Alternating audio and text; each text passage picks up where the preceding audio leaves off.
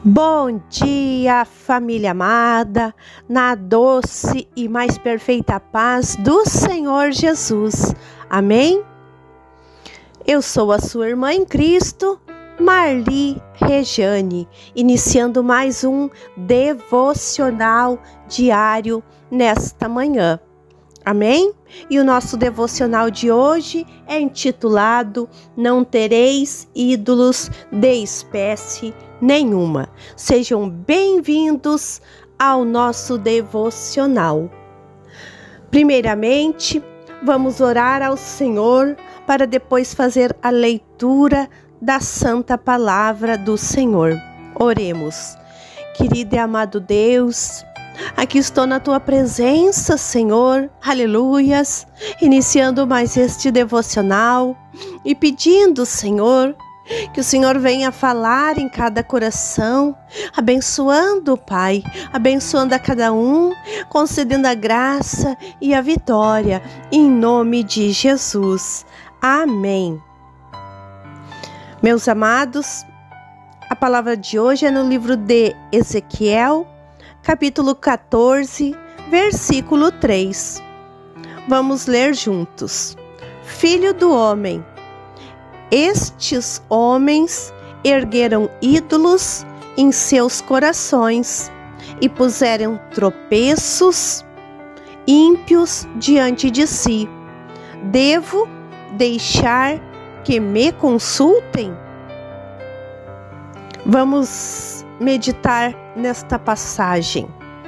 Eu acho interessante que os primeiros dois dos dez mandamentos lidam com a questão de outros deuses.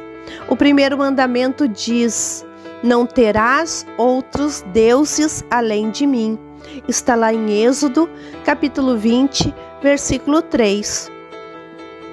Enquanto o segundo diz: Não farás para ti nenhum ídolo, nenhuma imagem de qualquer coisa no céu, na terra ou nas águas debaixo da terra. Está lá no versículo 4. Ídolos nos nossos corações podem fazer com que Deus recuse escutar nossas orações. O ídolo é algo ou alguém que toma o lugar de Deus em nossas vidas. Claramente, pode ser algo pecaminoso, mas também pode ser algo aparentemente bom. Por exemplo, podemos fazer de nossa carreira um ídolo. Não tem nada de errado com uma carreira, mas se ela for mais importante que Deus, então se tornou um ídolo.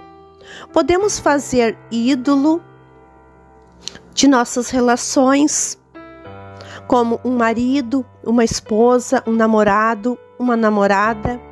Se eles são mais importantes que Deus, tornam-se ídolos.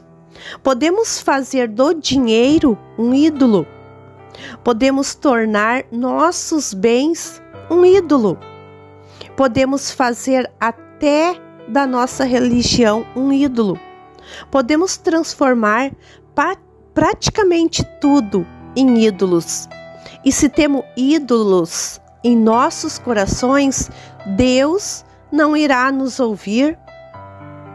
Deus diz a Ezequiel: Filho do homem, estes homens ergueram ídolos em seus corações e puseram tropeços ímpios diante de si.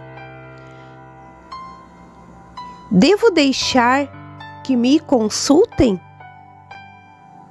Lá em Ezequiel 14:3, não podemos ter outro Deus antes do Deus vivo e verdadeiro, único Senhor de nossas vidas. Nosso Criador é quem nos ama e Ele quer de nós este mesmo amor. Ídolos podem impedir nossas orações de chegar a Deus.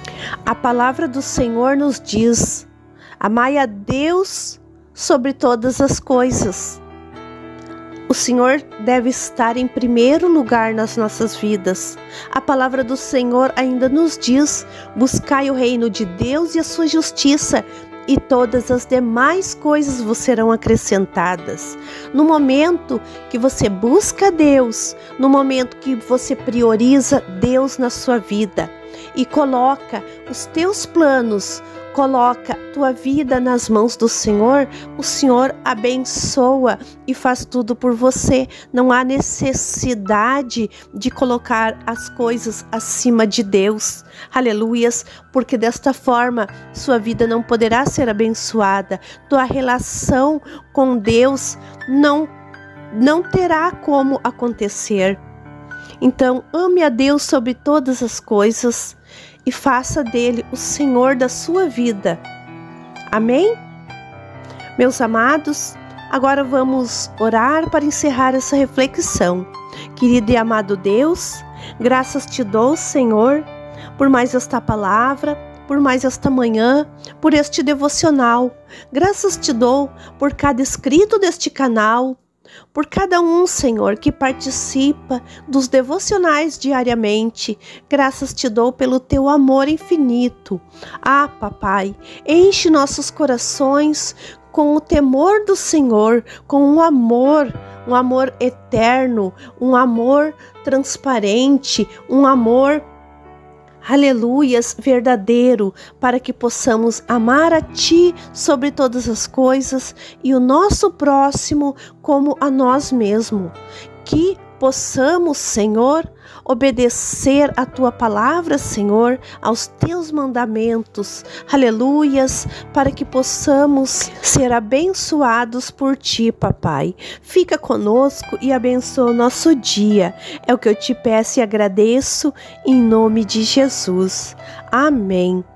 Meus amados, que Deus abençoe o teu dia grandemente, que Deus abençoe a tua vida espiritual, aleluias, e todas as áreas de sua vida.